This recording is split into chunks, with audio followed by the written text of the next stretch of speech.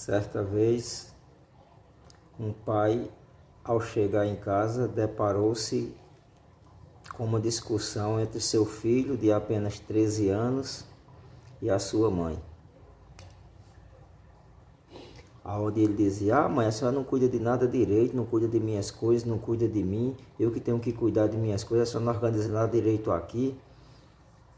A senhora, para mim, mãe, tem que a senhora é um, é um traste, a senhora está sendo um zero à esquerda, a senhora não sabe cuidar da gente. Um filho adolescente é desse jeito, eu quero tudo a tempo e a hora, e a senhora não faz isso para mim. Seu pai, ao entrar, foi e bateu a porta e o, o filho percebeu que seu pai talvez tivesse ouvido a conversa ou parte dela.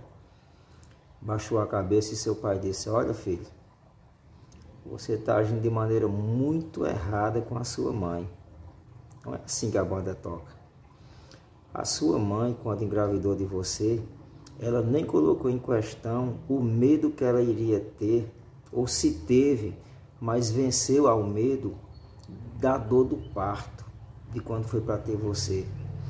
E ela passou aqueles nove meses carregando você na barriga, ficou feia, a barriga grande, as pernas inchadas, sentindo muitas dores, sem dormir direito mas jamais se arrependeu, pois o que ela mais queria era ter você.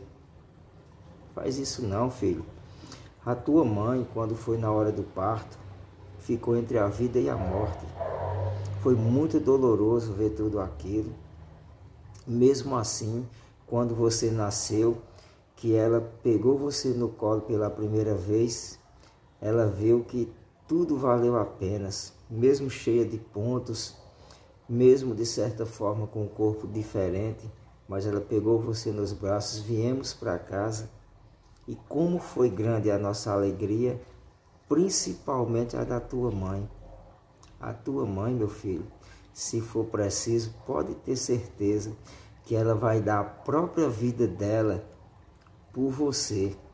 Eu sei que você tem 13 anos e é uma idade realmente complicada para conviver, mas mesmo assim também está na idade de você na adolescência começar a perceber a importância que tem entre um pai e uma mãe.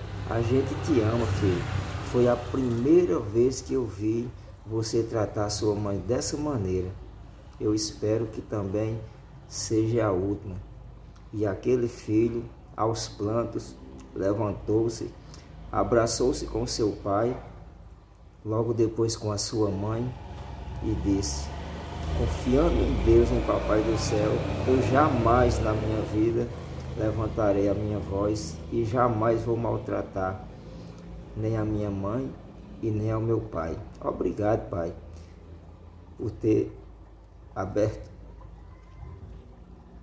meus olhos. Feliz Dia dos Pais, tá?